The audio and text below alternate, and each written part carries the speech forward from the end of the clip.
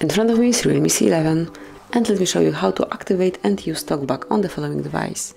So first of all you have to open list of all apps, then go to the settings, now locate and open and open additional settings and go to accessibility. Here you will notice TalkBack so smoothly marked and if you'd like to activate it, tap on the switcher, tap on OK to confirm.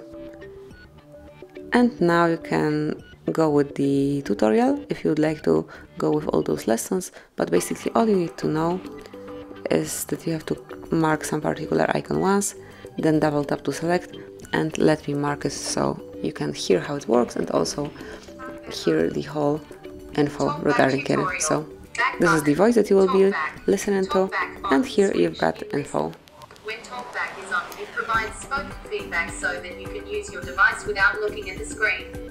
This can be helpful for people who are blind or partially sighted. To navigate using TalkBack, swipe right or left to move between items. Double tap to activate an item. Drag two fingers to scroll. To turn off TalkBack, tap the switch. You'll see a green outline. Double tap the switch. On the confirmation message, tap OK. Then double tap OK. And that's it. So as you uh, as you could hear, you have to mark something once, then double tap, and now we are in the previous menu. Then if you'd like to switch TalkBack off, just mark it. TalkBack on 7 of 26 in list 26 items. Double tap to activate. So just click twice, then mark TalkBack, click twice to turn it off, select turn off, and that's it. So this is it. This is how you can activate, use and switch off TalkBack. Thank you for watching.